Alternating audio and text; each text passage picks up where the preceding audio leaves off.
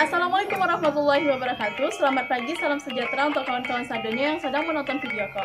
Perkenalkan nama Ambara Gita Kizakira Panggilan Gita dari Delegasi Poltekkes Kemenkes RI Padang Munasika Magi Kasamara yang ada di Bandung.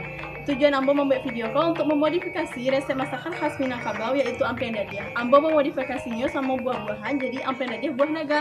Untuk yang penasaran silahkan ditonton videonya sampai habis kita akan memperkenalkan bahan-bahan yang membutuhkan dalam membuat ampiang dadiah buah naga. Yang pertama ada ampiangnya, kemudian ada dadiahnya, ada karambi parunya, ada saka sama air, dan buah-buahannya ada buah pisang, tidak masak, dan buah naga.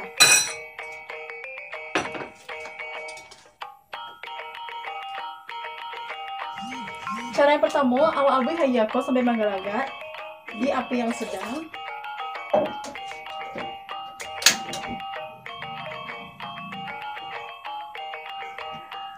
Api sampainya menggalaga. Iko ayahnya menggalaga lalu dituangkan ke ampiang yang telah disisihkan di piring saji. Tuangannya cuma secukupnya sampai Iko naik ke bawah. Lalu Iko disisihkan dulu. Selanjutnya awak masak sakanya pakai air yang tadi. Tunggu sampai sakanya larut ya.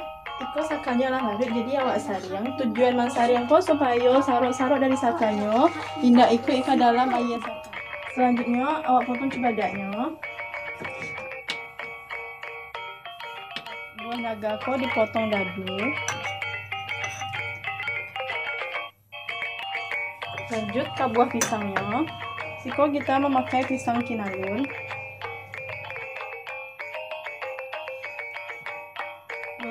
Siap dipotong. Selanjutnya tinggal awak susu di atas yang telah direndam tadi. Ada masak awak susun.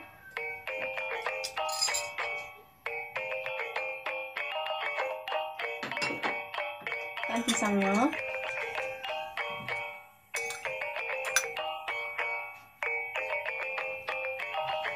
Setelah itu, baru letakkan dadiah susu kabaunya.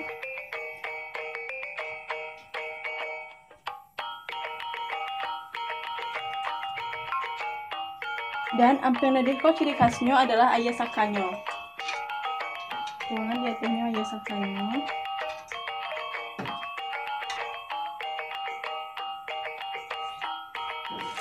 Letakkan buah naga di atasnya.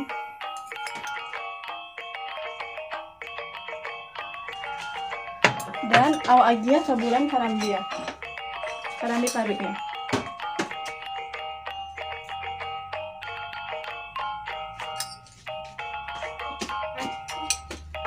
Ya, awak tambahkan es krim gunanya untuk menarik minat anak-anak untuk mencoba ampiang dadiah ko. Ampiang dadiah adalah masakan khas Minangkabau yang sangat melegenda. Ampiang dadiah ko terpadu atas ampiang jodadiah. Ampiang adalah bareh kacang yang ditumbuk pipih sehingga menjadi uh, kering dan dadiah adalah hasil fermentasi dari susu kabau. Untuk kawan-kawan sadonya bisa menemukan ampiang dadiah kok di daerah Padang, Batu Sangka, Solo, Payakumbuh, Bukit Tinggi, Paten Aga merupakan sentra penghasil dadiah yang dengan harga yang sangat murah dijual di pasar-pasar tradisional. Dadiah itu sebatongnya bisa dijual dengan harga 10.000 per batong. Untuk modifikasi resep kaliko, kami Gita juga kawan-kawan menambahkan buah-buahan pada ampiang dadiah. Buah-buahan yang ditambahkan itu adalah buah naga, cibadak masak, sama buah pisang. Nah, buah naga kol, alasan kami menambahkannya karena buah naga kol kaya vitamin C sebagai antioksidan, mengandung vitamin B2 dan B3, kemudian mengandung zat besi, magnesium, dan kalsium dan bagus untuk mencegah penyakit kanker. Kalau nangka ko atau cibadak masak ko, itu memiliki serat rendah kalori dan bagus untuk fungsi jantung, sedangkan uh, untuk pisang ko tinggi kalsium. Penambahan es krim kami tujukan untuk menarik nafsu makan anak-anak karena anak-anak pasti suka makanan yang manis. Ampiang dadiah kau memiliki banyak manfaat. Yang pertama itu menurunkan kadar kolesterol dan gula darah dalam tubuh hawa, kemudian menyehatkan fungsi jantung. Dadi dadiah kau memiliki bakteri asam laktat yang akan membunuh bakteri jahat yang ada dalam tubuh hawa. Kemudian dadiah kau juga mengandung nisin. Nisin kau sebagai antioksidan, pencegah atau paubean ubek kanker dan sehat untuk fungsi jantung awak. Orang Minang percaya untuk membuat dadiah kuah tidak sembarang susu kabau. Susu kabau yang digunakan adalah susu kabau dari induk kabau yang baru melayan dan anaknya ditunggu sampai umur 2 bulan baru nanti dirame susunya. Dimasukkan di dalam tabung batuang kemudian ditutup sama daun pisang atau daun plastik atau plastik kemudian diikat dan diletakkan di satu ruangan yang kedap udara. Proses fermentasi berjalan lebih kurang dua hari dua malam baru terbentuk dadiah yang teksturnya padat serupa raga-raga. Untuk ampiangnya surang, ampiang surang ampiang itu merupakan barang kata yang ditumbuk dan hingga menjadi pipih, kemudian digongseng hingga karyang. Kandungan gizi yang di ampiang dadiahko sangatlah banyak. Salah satunya dadiahko memiliki uh, pengikat protein terbaik karena dadiahko memiliki protein 6,8%, lemaknya 8,6%, kaya vitamin A, kaya asam laktat. Kemudian di dadiahko terdapat 16 asam amino, 13 asam amino esensial dan 3 non esensial. Pada ampiang dadiah yang kami buat ko mengandung energi energi sebesar 289 kalori, kemudian lemaknya ada 5,3 gram, proteinnya 6,3 gram, karbohidratnya 13,3 gram. Jadi itu sangat bagus untuk pilihan snack kaum milenial, ditambah dengan topping es krim, buah-buahan yang sangat enak.